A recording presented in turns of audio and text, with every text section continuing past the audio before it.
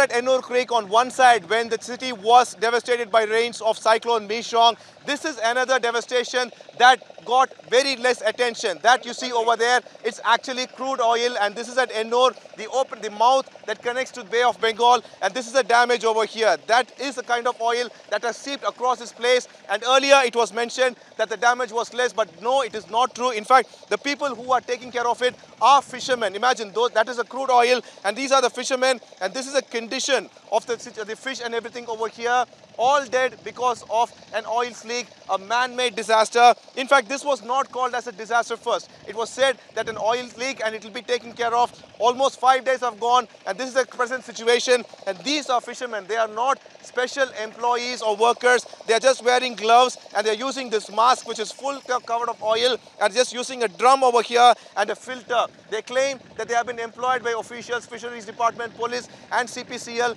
to clear this mess that was caused by someone else and they are taking care of it and here day and night they are working because this is their fishing ground and this is kind of like fish they used to take earlier but right now their life source is dead and they're working hard to save it and this is the condition at this spot over there you could see that oil's leak definitely something not acceptable. National Green Tribunal is asking several questions to Tamil Nadu Pollution Control Board and CPCL. They are giving answers, but on the ground it is entirely different. இதோட நீளம் வந்து குறைஞ்சது இரநூத்தி ஐம்பது metre இருக்கு இந்த இந்த மவுத்து இந்த மவுத் This entire mouth that connects to the sea is nearly 250 meters and it's co- completely covered with oil. இந்த ட்ரம்ல fill பண்ணி யாருக்கு கொடுக்க போறீங்க? அவங்க சிபிஎஸ்சியில் அவங்க வண்டியை தந்துக்கிறாங்க அவங்க வந்து எடுத்து போகிறத சொல்லிக்கிறாங்க So once this drum is filled, they will give it back to the CPCL. அவங்க ஆளுங்க யாரும் வந்து clean பண்ணலையா? யாரும் வரல அவங்க தான் எங்களை எங்களை வச்சு அந்த ஊர்க்காரங்க மூலியமா வந்து எடுக்க சொல்லிக்கிறாங்க ஆஃபீஸை போலீஸ் நான் மீனவர் They are fishermen. CPCL men are not employed over here, but fishermen are the ones who are taking care of this damage. See, uh, it's purely the mistake of the CPCL. So, if at all, the ultimate care should be taken. Uh, fishermen know. We came to know that actually 10 kilometers this estuary is a fully full of oil. You are also having actually in the hand oil.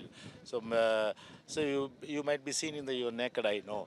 So what actually no three three demand they are actually demanding. One, uh, the livelihood been affected. So boat, what are the boats that get damaged? The boats uh, actually give, those uh, boat get damaged. they- That should be eliminated and given uh, uh, uh, relief. Then nets. Nets are actually 5 lakhs, 7 lakhs. All are actually with the oil only. You might be seen that no, all are actually uh, mixed with oil. No, they never again never used. No, so for 4 or 5 lakhs are uh, ultimate total loss. Then uh, livelihood from 30th onwards uh, they never ventured into the sea because of the government uh, announcement. So from 13 onwards, the government and uh, CPCL calculate and given to the given to the cash amount. Uh, the employment also these uh, six villages are demanding. Uh, from 30th onwards, they calculate the amount and uh, uh, they disperse the amount uh, through these societies. Already we have got the societies. So uh, same uh, similar no in our government when one ship actually they drop the oil into the sea no we actually put the they filed a case against the, the company and we get we got uh, to 100 crores earlier now actually 100 crores uh, permanent interim relief on the 100 crores they are given that time so cpcl generously knowing the sufferings of the uh, fishermen so should actually uh, hand in uh, fisher uh, give hand to the fishermen PCL c- claims that they have used boomers, slugs, vacuum machines, but we don't find any kind of special equipments nor their people here. Only fishermen are cleaning the spot. How should CPCL act to it and what should the governments do on this matter? See, you itself know cleaning the oil, no? So you clearly you spelled out what I am actually supposed to say. You clear say, say nothing actually CPCL has, CPCL has do- doing any job.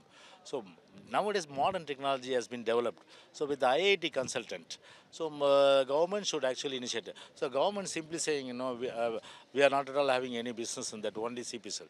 They should not actually answer like that. They are also having the responsibility. If at all uh, precautionary measures uh, to control the flood means this all could never happen. So uh, they are also liable for this. So government, CPCL, both actually answerable to the fishermen.